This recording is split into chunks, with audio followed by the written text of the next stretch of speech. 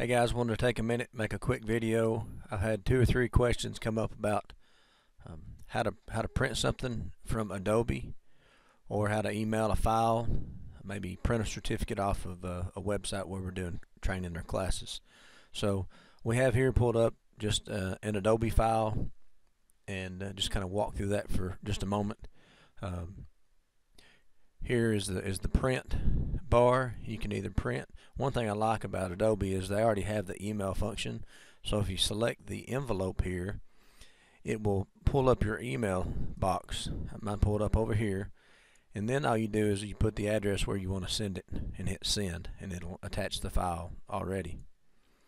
Uh, you can go here to print though and then if you want to choose a printer you can choose um, my mine has Adobe on the computer but most computers should have this CutePDF Writer and you'll select that and then you'll just you'll just hit print and basically it'll, it'll save the file as a PDF um, wherever you tell it to go.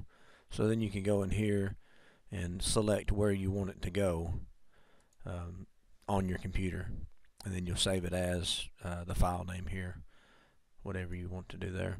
Um, another option, if you want, you can go to the file. Uh, you can save it as, or you can once again hit go to print, and it'll pull up that same window. Um, I was going to pull up another file just off the internet, um, and this is in Target Solutions, and this is just a certificate of a course I took.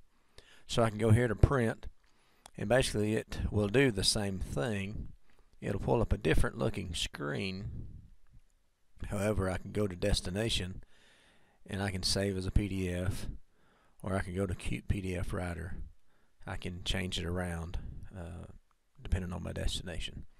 So hopefully that answers any questions that uh, one might have on how to get some of these things printed off electronically.